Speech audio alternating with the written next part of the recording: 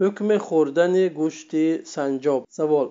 Ҳукми хӯрдани гӯшти санҷоб савол оё хӯрдани гӯшти санҷоб барои муолиҷаи бемориҳои атсма ва нафастангӣ ҷоиз аст ҷавоб ҳамду сано ба парвардигор уламо раҳматуллоҳи алай дар ҳукми хӯрдани гӯшти санҷоб ихтилоф карданд баъзеашон хӯрдани онро иҷозат доданд баъзеи дигарашон хӯрдани онро манъ намуданд дидгоҳи саҳеҳ ин аст ки хӯрдани он ҷоиз мебошад боз аллоҳ субҳанаватаоло донотар аст зеро асос дар гӯшти ҳайвонот ҳалол будани онҳо мебошад гӯшти ягон ҳайвон ҳаром намебошад модоме ки шариат онро ҳаром накарда бошад. Инчунин санҷоб аз ҷумлаи ҳайвоноте ки ба дандонҳои шикориаш сайд мекунад намебошад. Ибни мунзир раҳимаҳулло фармудааст дар мавриди санҷоб баъзе аз асҳобамон гуфтанд мегӯянд ки он дарранда нест балки растаниҳоро мехӯрад ва шикор намекунад. Харгӯш ҳам ҳамин тавр мебошад. Бинобар ин хӯрдани гӯшти санҷобу харгӯш ва истифода бурдани пӯстҳои он ҳеҷ боке надорад. Мо аз ибни муборак ривоят кардем ки ӯ дар бораи санҷоб пурсида шуд. Дар ҷавоб гуфт шикорчӣ ба ман хабар дод ки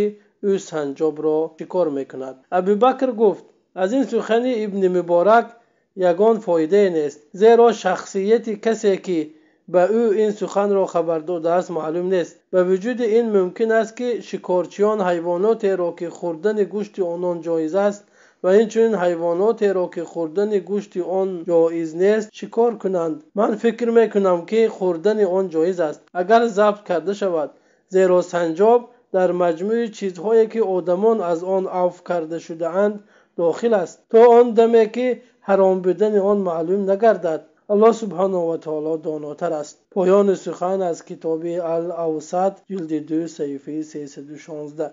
Имом нававӣ раҳматуллоҳи алайҳ гуфтааст дар мавриди самур санҷоб фанак қоқум ва мурғи саққо ду дидгоҳ вуҷуд дорад. Дидгоҳи саҳеҳ ин аст ки онҳо ҳалол мебошанд. Дидгоҳи дуввум ин аст ки онҳо ҳаром мебошанд аллоҳ субҳанаҳу ватаоло донотар аст поёни сухан аз алмаҷмӯъ шарҳул муҳаззаб ҷилди ду саҳифаи дувоздаҳ ибни қудома раҳматуллоҳи алайҳ гуфтааст дар мавриди санҷоб қозӣ чунин мегӯяд он ҳаром мебошад зеро бо дандонҳои шикориаш мегазад ва ба калламӯш монанд аст мумкин аст ки гӯшти санҷоб раво бошад зеро ба тавушқон шабоҳат дорад ҳар гоҳ байни мубоҳ ва ҳаром будани гӯшти ҳайвон шубҳае бошад мубоҳ будани он бартарӣ дорад зеро ин асос аст.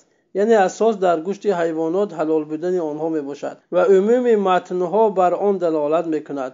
Поёни сухан аз китоби алмуғнӣ ҷилди нӯ саҳифаи сесаду бисту ду бар асоси ин хӯрдани гӯшти санҷоб ҷоиз аст хусусан агар он барои ҳоҷат яъне барои табобат ва амсоли он бошад аммо хӯрдани гӯшти санҷоб танҳо ба хотири майлу рағбат дури ҷустан беҳтар аст зеро дар ин масъала ихтилоф вуҷуд дорад аллоҳ субҳанаватаоло донотар аст